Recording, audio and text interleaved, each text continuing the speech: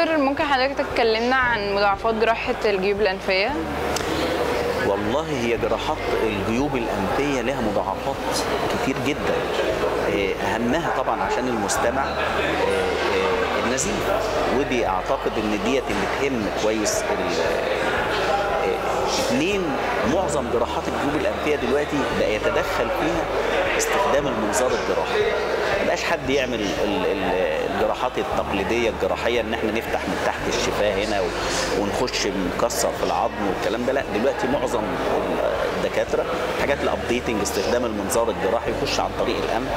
طبعا مع عدم الحرص أو يعني ما فيش experience كويسة ممكن تعمل مضاعفات آه، آه، زي مثلا آه، مشاكل في العين ممكن تعمل مشاكل في المخ زي ما قلنا الحاجة البسيطة اللي هو النزيف ده أبسط شيء. إنما المشاكل الأخرى اللي هي كبيرة آه، ممكن الواحد وهو داخل يعور العين يعمل فيها ورم يعمل تجمع دموي ممكن لا- قدر الله ممكن يعني يوصل للعصب بتاع العين العيان يطلع ما يشوفش. لو ما فيش اكسبيرينس وما فيش كلام.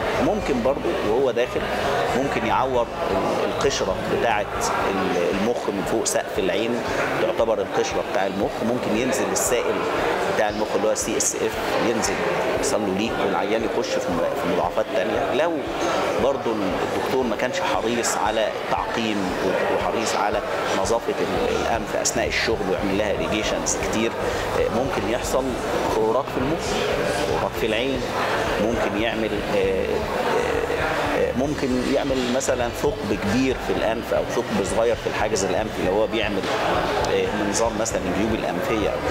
ففي مشاكل كتير جدا ومضاعفات كتير ممكن تحصل وبحرص بسيط جدا من الدكتور يعني بنسبة 90 ل 95% أو ممكن تصل إلى 100% ممكن ما يحصلش مضاعفات خالص.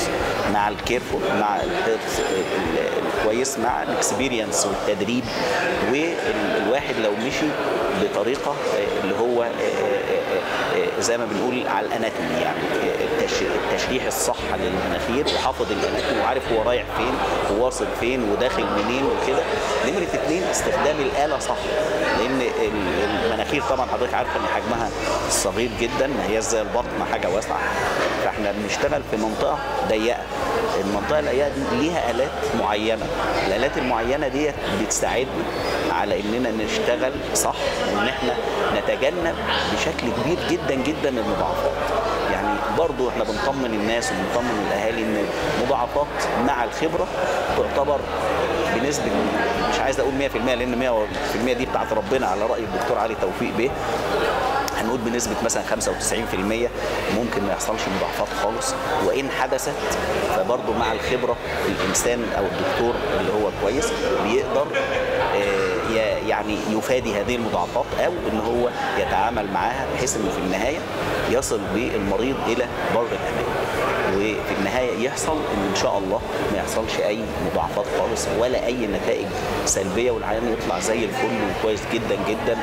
وميزة ال- العمليات بالمنظار الجيوب الأنفية العيان آه، بيعمل العملية مثلا بتستغرق نص ساعة ولا ساعة إلا ربع ولا ساعة بيقعد مثلا في ال recovery stage حوالي ساعة لساعتين بيطلع ياكل ويشرب بعد ثلاث ساعات يروح ماشي على رجله ولا كأنه عامل عمليه خالص ولا بيحس بأي حاجة شوية صداع بسيط آه، شوية مثلا عينيه مدمعة بتاع كلام كلام تقليدي عادي إنما ما بقاش زي زمان. كنا بنحط فتيل وبنعمل مشاكل العيان جيوب الأنفية دي يقول لك خلاص ده العيان هيطلع ما بيشوفش. زي عمليات العمود الفقري. كان أي واحد بيجي يعمل عمود فقري يقول لك خلاص مش هيمشي هيتكسر.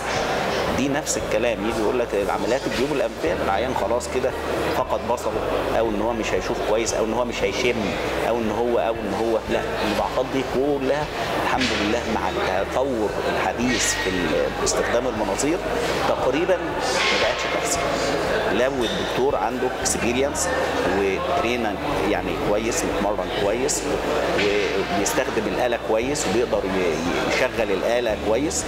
خلاص زي العربية. حضرتك الواحد أول ما بيركب العربية بيبقى مش عارف يمشي بيها وبيبقى ماشي على الأول ومش عارف وبتاع. ولو عمل عربية جت جنبه ممكن يخبط فيها وممكن. صح ولا غلط؟ صح. طيب بعد كده بقى experience بقى يمشي وهو سايب إيده. وما يحصلش اي مضاعف ولا يخبط حد ولا يعمل. دي نفس الكلام. مع الخبرة ومع ال experience ومع العلم ومع القراءة والاطلاع حضور المؤتمرات وال updating اتوقف نشوف إيه اللي بيحصل إيه الجديد اللي موجود إيه الحاجة الجديدة.